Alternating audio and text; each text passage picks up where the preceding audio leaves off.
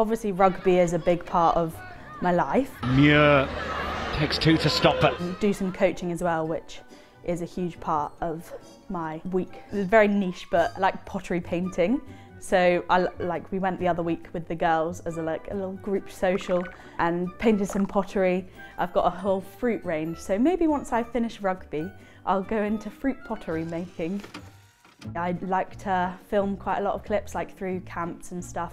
I would film little clips and I have been editing them. I just love looking back on it and that's the same with photography. Like I really like taking pictures and being able to look back on them and I kind of make, have made some scrapbooks as well, which has been really nice. My two lovely flatmates, they are great people as well as rugby players. So I live with Sam Monaghan, who is an Irish second row, and then I also live with Elizabeth Goulden, who is a Kiwi fly half. Sam is great, like she's doing a lot of DIY at the minute, like putting up blinds. She did this room, she sanded and varnished her floor, which took like over a week and she had to plaster it all. I would say that Sam is a mixologist or a cocktail maker. She loves making a little espresso martini, which we all like to enjoy in moderation, of course. Lizzie likes to work. Well, I don't think she does like to work. She likes to pretend she's working. No, she does actually work really hard. She has like an England job and a New Zealand job being a lawyer, long hours as in into the night because she is working at, in her New Zealand time zone. Lizzie also loves to cook. If anyone's cooking us a meal, it will be Lizzie. Like we all go round to each other's houses. Lizzie's normally the main chef. The rest of us will be like sous chefs slash clearing up duties. And then she also loves a scampi fry. Not only have we got like our, us three as a great household, we also have three amazing neighbours.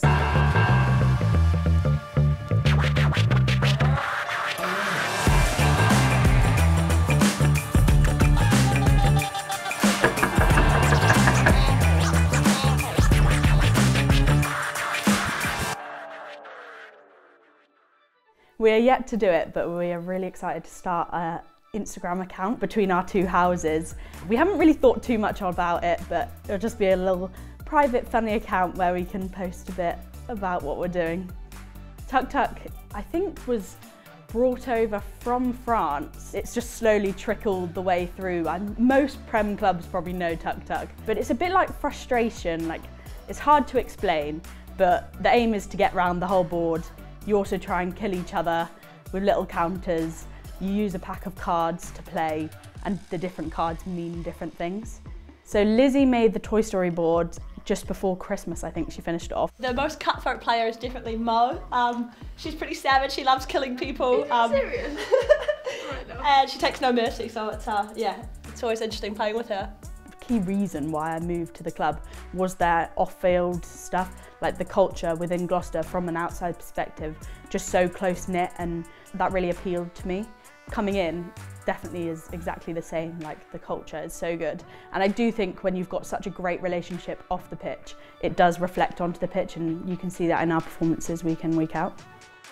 We haven't spoken about it too much, but we want to win the Prem. I think it will just change a lot of people's perceptions of the game in Gloucester and hopefully the, the Gloucester fans are great and will always get down to the, the men's games. I think it will just bring in a whole heap of new spectators to the women's game, which is really exciting in Gloucester.